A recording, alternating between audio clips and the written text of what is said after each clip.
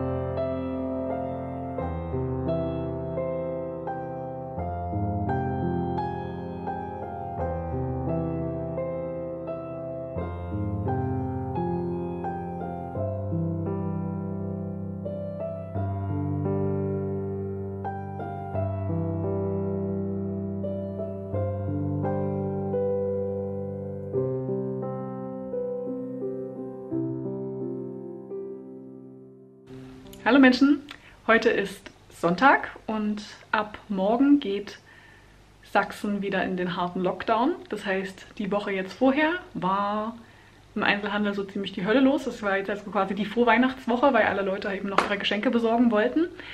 Aber ich hatte tatsächlich das Gefühl, dass viele ähm, also nicht entspannter waren. Viele waren natürlich schon gestresst und dachten oh Gott, jetzt muss ich das jetzt aktuell noch schnell machen.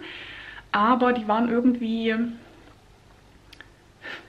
akzeptierender. Also wenn wir haben dann zum Beispiel manchmal gesagt, ja, im besten Fall kommt ihr Buch dann morgen mit, aber zum Beispiel heute, ähm, also hatte jetzt nichts mit Corona zu tun, aber es gab eine Vollsperrung auf der A4 und da haben wir einen Tag mal gar keine Lieferung, also auch keine Kundenbestellungen eben bekommen.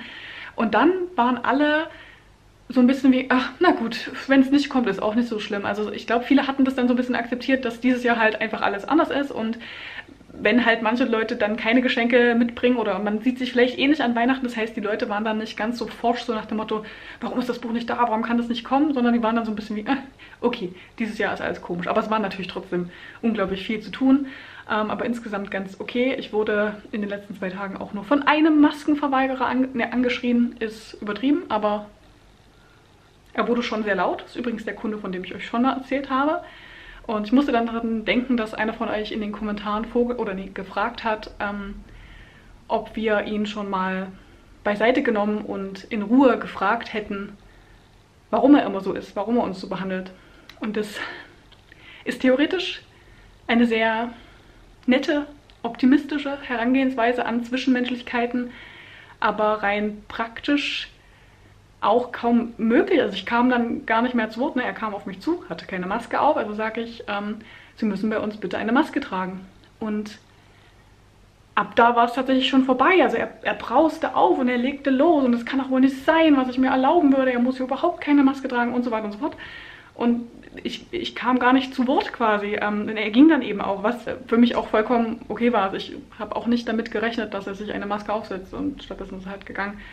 Ähm, aber da ich ja ab Dienstag war ungefähr bei uns so bekannt, ja, Sachsen wird in den Lockdown gehen, auch wenn es noch nicht so diese ganz offizielle Verlautbarung gab.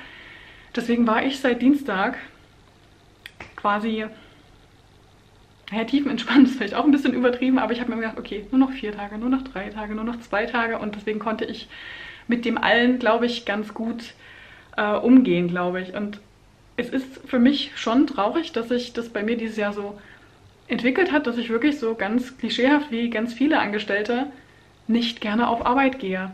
Und ich, mich nervt das eigentlich wirklich, weil ich, ich mag meinen Beruf. Ich bin gerne Buchhändlerin.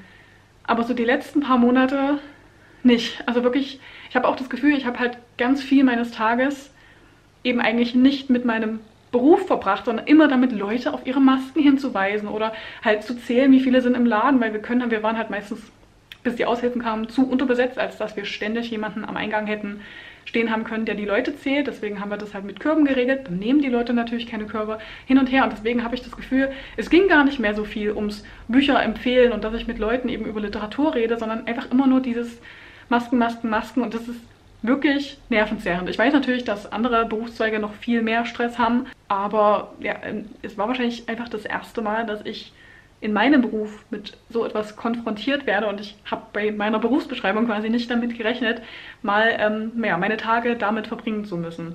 Insofern ist tatsächlich der Lockdown, für, also nur für, für mich persönlich jetzt, ich meine natürlich nicht den Grund für den Lockdown, aber für mich persönlich war das gerade so ein bisschen die, die beste Nachricht der letzten Zeit. Ähm, ich weiß, dass für viele andere jetzt erst recht der Stress losgeht, dass viele sich auch Sorgen machen, dass es gesundheitliche Probleme gibt, aber ich bin sehr froh, dass es jetzt nochmal so kommt. Das ist, glaube ich, diese, diese viel beschriebene Last, die einem so von den Schultern fällt, wo man vielleicht vorher auch gar nicht gemerkt hat, wie angespannt man die ganze Zeit war. Also es ist ja eigentlich wirklich ein permanentes, man steht früh auf und denkt sich, was wird denn heute wieder passieren? Wer wird denn heute unfreundlich und wird dann vielleicht persönlich? Und ja, insofern bin ich ganz froh, dass jetzt erstmal bis 10. Januar Ruhe ist. Ähm, auch wenn es danach natürlich nicht automatisch perfekt ist. Aber ja, mal gucken, wie es sich entwickelt. Jetzt für den Moment bin ich froh über diese Pause, die mir da quasi geschenkt wird, auch wenn das natürlich ja trotzdem also finanziell für mich und wirtschaftliche Folgen hat und so, aber jetzt nehme ich das erstmal ganz gerne an. Und durch den Lockdown überlege ich halt gerade tatsächlich, ob ich nicht doch zu meinen Eltern fahre an Weihnachten. Also vorher hätte ich halt sogar am 24. noch arbeiten müssen und das wäre mir dann wirklich nichts gewesen. Ich habe so viel Menschenkontakt und das dann quasi potenziell zu meinen Eltern zu tragen, das ist mir nichts. Aber ähm, jetzt habe ich ja die freie Zeit und ich habe auch vor, mich selbst, selbst zu isolieren. Ähm, also ich werde morgen zu meinem Partner fahren und dann will ich eigentlich niemanden sehen, niemanden treffen. Ähm, und wir gehen natürlich mit Balu raus. Das heißt, selbst wenn man auf der Hundewiese dann mal jemanden trifft, also die ist so weit, dass man da locker den Sicherheitsabstand einhalten kann und wir sind damit niemandem so dicke, dass wir uns da irgendwie umarmen würden. Wobei ich mich sowieso nicht daran erinnern kann, wann ich das letzte Mal jemanden umarmt habe, außer meinen Partner eben. Und das sind dann halt zwölf statt 14 Tage, in denen ich im besten Fall niemanden treffe. Ja, also ich hadere gerade noch ein bisschen mit mir, aber zumindest hat sich die Möglichkeit jetzt für mich erstmal geöffnet, würde ich sagen, weil vorher ähm, ja, wäre mir das nichts gewesen. Ja, und heute steht eigentlich nur ein äh, Videotelefonie-Date mit zwei Freundinnen und Glühwein an. Also einfach nur mal ein bisschen quatschen, weil wir uns eben auch schon lange nicht mehr gesehen haben. Und beziehungsweise die eine zugegeben hat mir letztens nach der Arbeit eine Badebombe von Lush vorbeigebracht und das war, das war wunderbar. vielen, vielen Dank nochmal. Ähm, genau, und sonst lesen, Japanisch, YouTube, solche Dinge.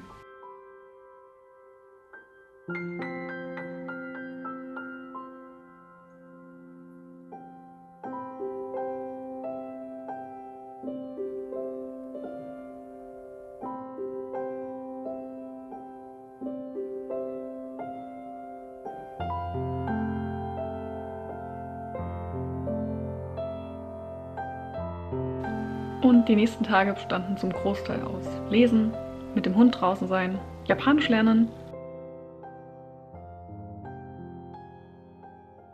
Kuscheln, warmen Getränken, mit und ohne Alkohol, YouTube und gutem Essen.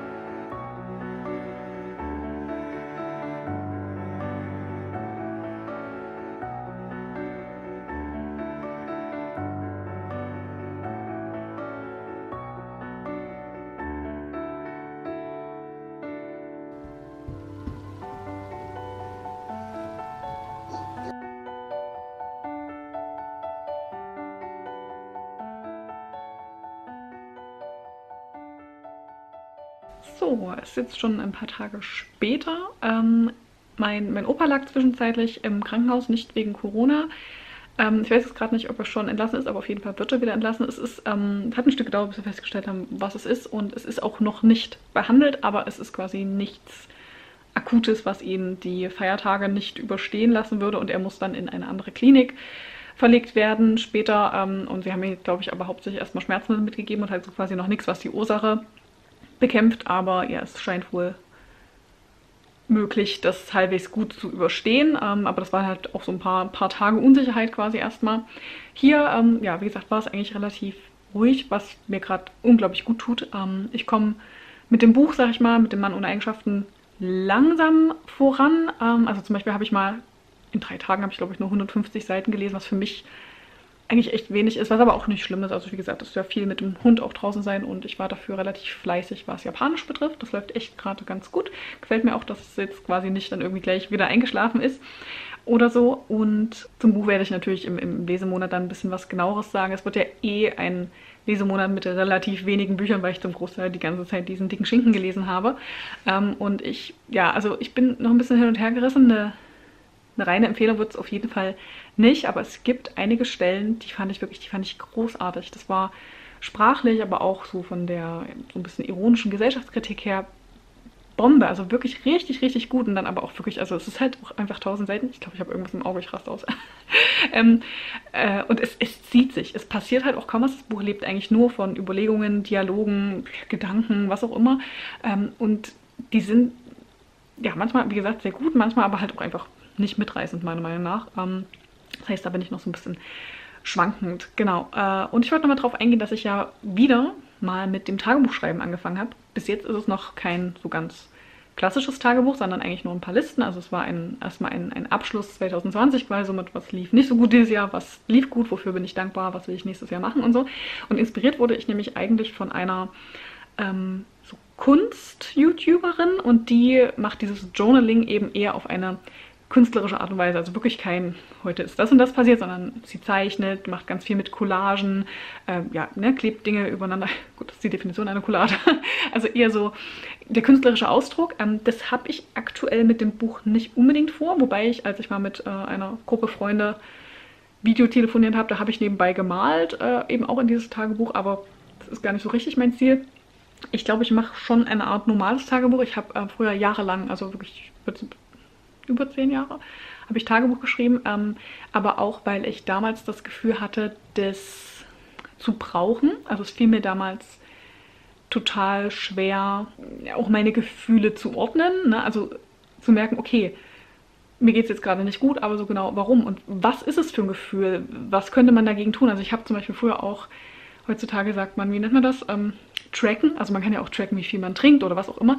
Und ich habe wirklich, ich habe für jeden Tag eine Liste mit, keine Ahnung, glücklich gewesen, traurig gewesen, was auch immer. Und dann habe ich Kreuzchen gesetzt, weil ich das gebraucht habe, um, ähm, das kann man im Nachhinein total schwierig erklären, um die Verbindung mit mir selbst herzustellen. Also ich habe mich oft ganz, ganz, ganz distanziert gefühlt von,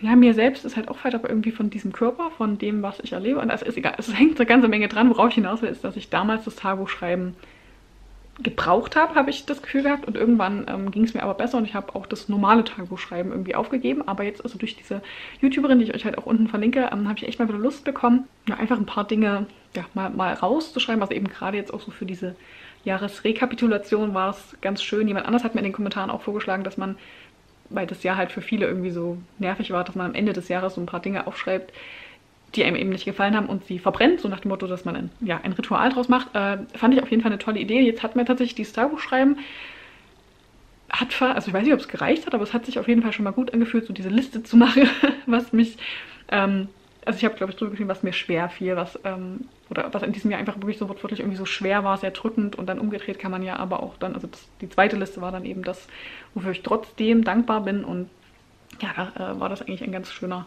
Ausgleich dann so ein bisschen. Genau, das wollte ich euch nur noch mal so ähm, mitteilen, wie ich das Jahr quasi ausklingen lasse. Also mit so einer Rekapitulation in schriftlicher Form, was eigentlich ganz gut tat. Und dann wollte ich euch noch was mitgeben, wenn ihr mal wieder was fürs Herz wollt. Ähm, ich hatte letztens mal Lust auf, eine, an, äh, auf einen Animationsfilm und da wurde mir Klaus oder Claus empfohlen, also so wie Santa Claus, aber mit K geschrieben. Ähm, und das ist ein Film, der vermeintlich halt erzählt, wie diese ganzen Weihnachtstraditionen entstanden sind, wobei das teilweise eben auch eher die britisch-amerikanischen sind, glaube ich. Also wir haben ja zum Beispiel diese Sache mit den Socken am im Ofen. Das kenne ich, glaube ich, so aus Deutschland eigentlich nicht. Ähm, auf jeden Fall erklärt es das halt so ein bisschen anders und ist aber halt wirklich, also ist was Unterhaltsames. Ich würde sagen, es ist ein Kinderfilm, aber tatsächlich so für ganz, ganz kleine ich glaube, da sind ein paar zu gruselige Szenen drin. Also für mich als Erwachsene war es natürlich eher lustig, unterhaltsam, aber eben auch einfach, ja, war was Schönes, wenn er ja, noch was fürs Herz wollt, aber halt vielleicht nicht unbedingt ähm, christlich inspirierte Weihnachtsgeschichten schauen wollt. Ja, genau, so viel dazu erstmal.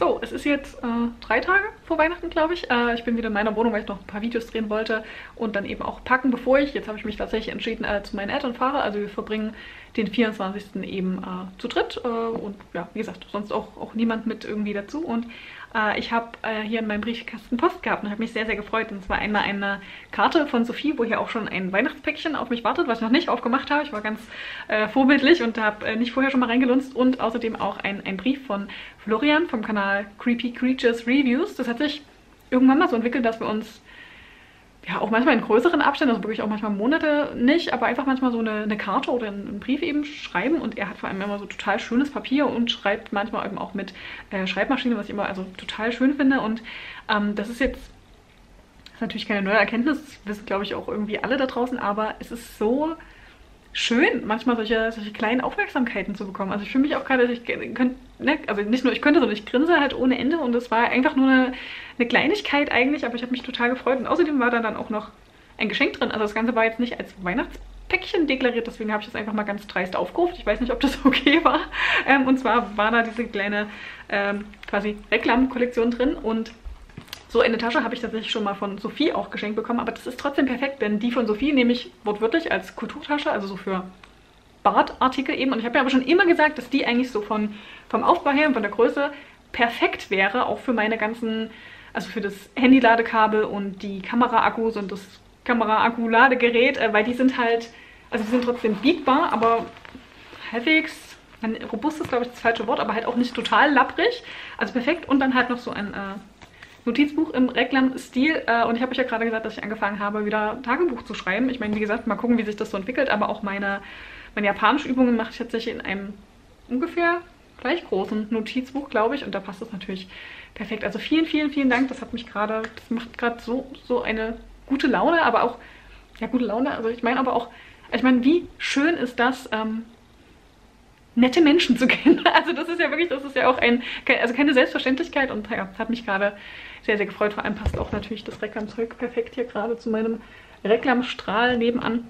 Und dann, äh, um, um, auch mal noch was Nettes weiterzugeben, ich habe gerade noch mal getestet, ob meine Softboxen noch funktionieren. Das war mein Geschenk eines Ex-Freundes, der auch manchmal zuguckt, also seien wir nicht böse. Es war ein perfektes Geschenk damals, aber äh, ich nutze die nicht. Ähm, ich bin zu faul, die ständig auf- und abzubauen. Das heißt, es würde für mich, glaube ich, nur funktionieren, wenn ich irgendwie so ein spezielles YouTube-Zimmer hätte, wo ich die halt nicht immer abbauen müsste. Und tatsächlich drehe ich ja meine Videos auch am Computer, weil ich meine Notizen zu den Büchern am Computer habe. Und hinter den Schreibtisch passt keine Softbox. Und bevor die jetzt hier bei mir versauert, ähm, hatte nämlich, darf ich das sagen? Ja, ich glaube schon. Ne? Also äh, Sarah von Uralte Morla hat mich grundsätzlich hat er einfach so gefragt, ob ich eine Softbox nutze.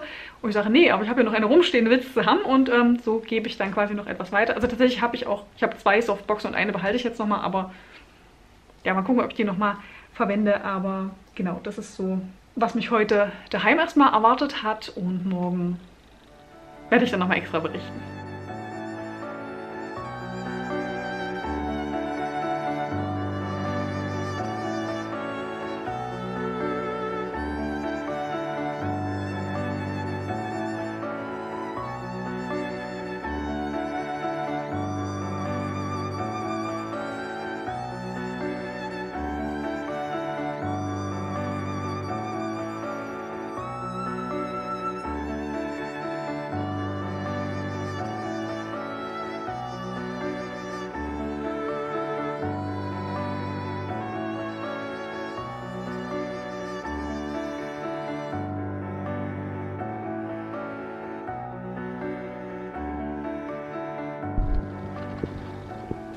Ich habe es also noch zur Post geschafft. Äh, tatsächlich kam das Päckchen dann auch einen Tag später schon an.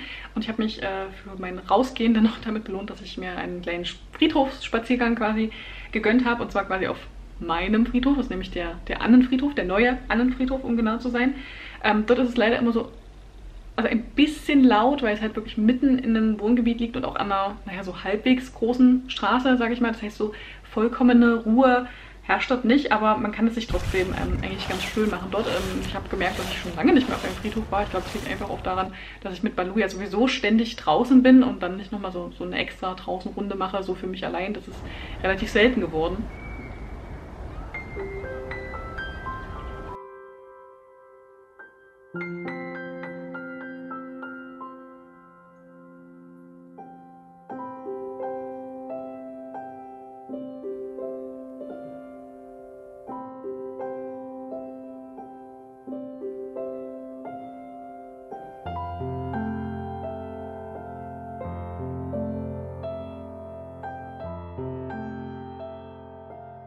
Und als ich daheim war, habe ich noch so ein bisschen aufgeräumt und sauber gemacht. Äh, ich bin ja doch eine kleine Ordnungsfanatikerin und ich liebe es, Dinge ordentlich zu beenden. Ne? Ich meine, es ist ja noch nicht der letzte Tag des Jahres, aber das alles so vorzubereiten und dass dann hier kein, kein Zeug mehr rumliegt, dass alles sauber ist, das, das gibt mir ein unglaublich gutes Gefühl und ich werde das jetzt auch noch ähm, quasi am Handy so ein bisschen machen, also Fotos äh, kopieren und löschen und ich habe auch so einen Ordner mit ähm, Screenshots, zum Beispiel von Instagram, wenn jemand ein Buch vorstellt, was mich interessiert und das werde ich ordentlich in die Wunschliste übertragen, anstatt das jetzt hier irgendwie auf meinem Handy in 10.000 anderen Ordnern oder zwischen anderen Bildern quasi noch zu haben und das gibt mir immer ein ganz wunderbares Gefühl. genau, und dann wäre es das auch schon für diesen Vlog. Ich hoffe, äh, ihr habt die Weihnachtstage schon überstanden, wenn das online geht? Oder geht es sogar direkt an Weihnachten online?